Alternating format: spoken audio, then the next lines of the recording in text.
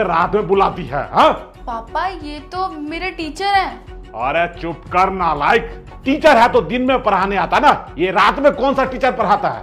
वो क्या है ना कि सर को टाइम नहीं होता है दिन में। ये आई की तैयारी करवाते हैं। और आपको तो पता ही है कि दिन में मुझे कितने काम होते हैं। देख अपने बाप को ज़्यादा बेवकूफ़ मत बना समझी?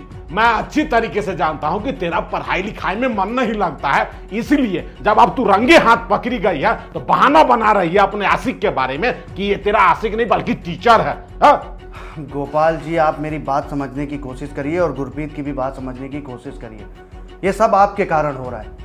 आप इसे पढ़ने लिखने नहीं देना चाहते हैं। आपको पता है, इसने बिना किसी कोचिंग बिना किसी ऑनलाइन सब्सक्रिप्शन के यूपीएससी का प्री एग्ज़ाम क्लियर कर लिया है।